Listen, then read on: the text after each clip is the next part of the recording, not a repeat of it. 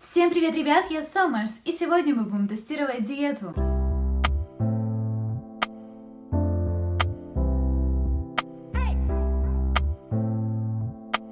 Просмотром помните, что вы можете подписаться на мой канал и также нажать на колокольчик, чтобы получать мои новые ролики. Надеюсь, это порадует тех, кто просил именно эту диету, потому что сейчас я буду делать разгрузочный день на шоколаде. Да, есть такие, однако. Я сама была удивлена, но удивлена давно, еще когда только узнала, что такая диета на самом деле есть, и посчитала ее сразу очень странной и очень опасной. Поэтому это снова будет лишь один день, и вам не советую делать больше.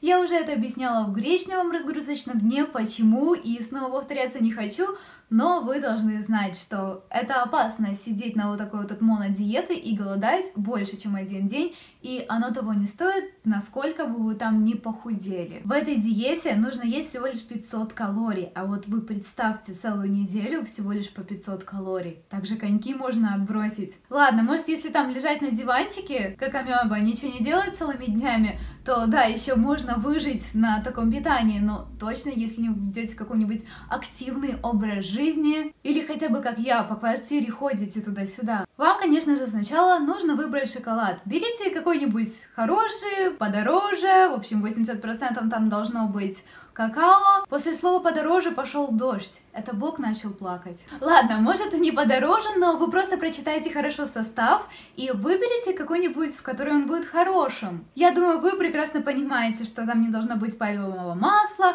всяких вредных ингредиентов. Желательно, чтобы их вообще было поменьше. 100 грамм за день шоколада нужно съедать всего лишь. Это, как по мне, очень мало. 500 калорий где-то выйдет. Нужно разделить на 5 приемов пищи. Что меня не устроило, знаете, потому что если взять, просто положить перед собой шоколадочку, сидеть там, смотреть сериальчик и так по чуть-чуть откалывать и есть на протяжении всего дня, еще забивать чайком, то это можно выдержать вот так вот, вот легко просто. Здесь нужно разделить на 5 приемов пищи, и после этого еще нельзя 2-3 часа ничего пить. Вы можете пить кофе, зеленый чай, но только спустя 2,5 часа где-то. И это как бы меня не устроило, потому что я люблю шоколадочку там по чаечек закусить. Тут тоже не буду особо распространяться на то, что я покупала, как составляла свое меню и что я ела, потому что ответ на все это будет лишь шоколад. Кофе я не пью, поэтому пила только чай, что понятно.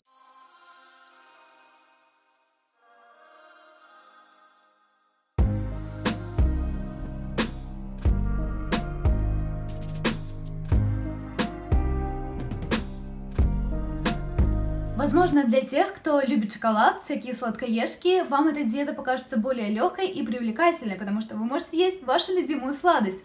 Но я не фанат шоколада вообще, особенно черного, и если он идет без ничего. То есть, как добавление к десертам, шоколадки люблю, например, как шоколадку я вам недавно показывала Сора в своем инстаграме, она мне понравилась. Ту шоколадку, которую я купила себе для этой диеты, она, конечно, просто божественная, в ней очень вкусный шоколад, качественный, но, как по мне, то, что он черный, это только все портит.